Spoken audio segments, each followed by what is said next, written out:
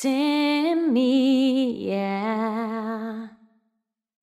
One happy birthday dot com.